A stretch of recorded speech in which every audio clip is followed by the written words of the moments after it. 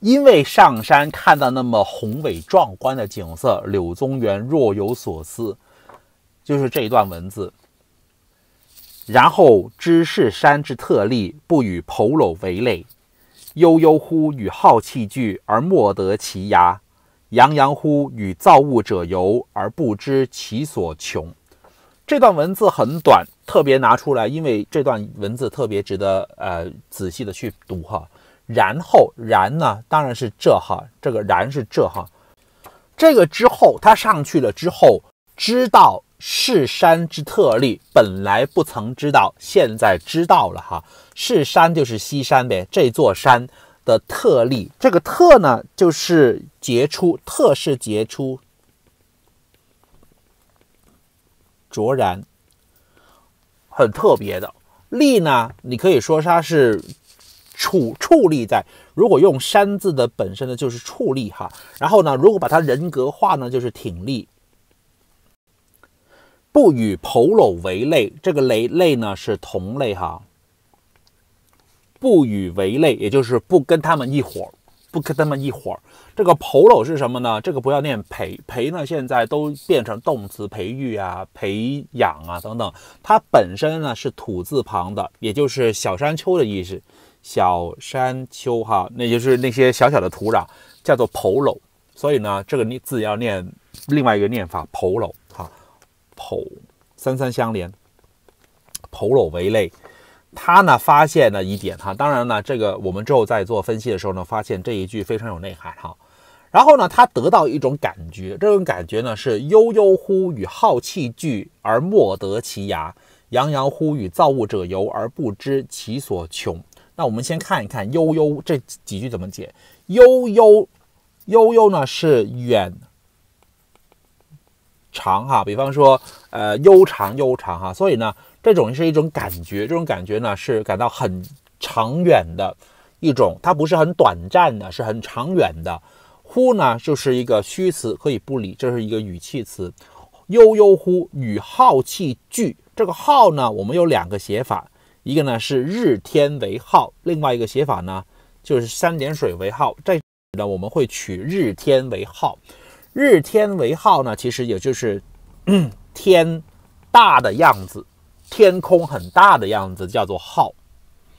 那呃，我们不取这个号呢，是因为这个号字呢不在这篇文章不合用，它的那个那个思维方式不一样，它比较像孟子的，这篇不像孟子。所以呢，气呢也就是气象，这个气象呢，它并不是指天气报告里边看到那个气象局的那种气象，而且象字呢是一种。一种神态，所以呢，这种气呢，已经是一种精神状态的那个层面，而不是指天气呀、空气呀等等哈，它是一种气象，一种精神的状态。所以浩气呢，就是天空很大、很悠远的一种一种精神状态。所以呢，是悠悠乎与浩气俱，这个俱呢是陪同。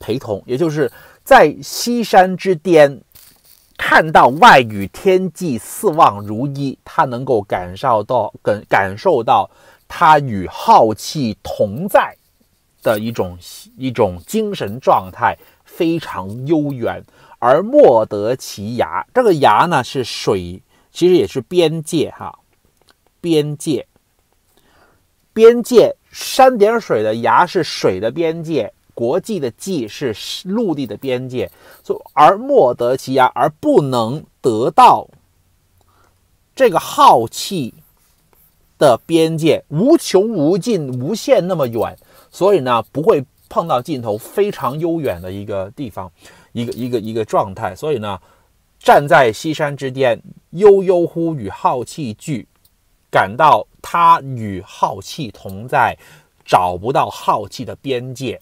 这是一种思想的开拓，这是第一点。第二个，洋洋乎与造物者游而不知其所穷。洋呢，其实就是水，水大为洋，海洋的洋。所以在这里作为一个形容词，也就是广大或者广阔，广阔非常广阔的一个感觉。与造物者游，造物者。就是造物者。现在我们还是用造物者来表示基督宗教里边的神，对不对？那呃，我们中国传统来说也有造物者一说，但是没有具体说明谁是造物者而已。所以呢，他我们相信大自然就是造物者，所以呢，大自然之道就是造物者。这个天地呢是从自然而来的，所以呢，洋洋洋乎与造物者游。如果聚是陪同，那是静态的；游呢，就是一起游玩同行。广大的地方与造物者同行，而不知其所穷。穷呢，刚刚说过，尽所字搬到后面的地方。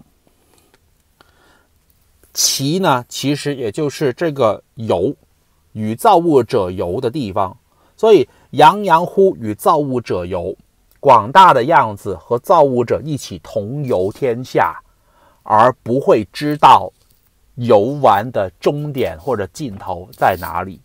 所以这第一句是一个静态的，然后呢，第二句呢就是状呃动态的，因为它不是说他要游玩山水吗？现在游玩山水，它不是只是躯体上停留在西山之巅。而是跟着天地万物一起来同游天下，是这样的一个精神状态。所以这个段落要特别拿出来讲。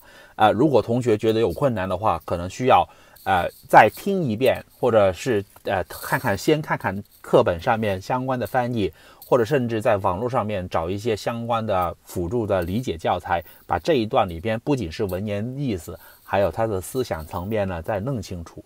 这是。这个部分核心的部分。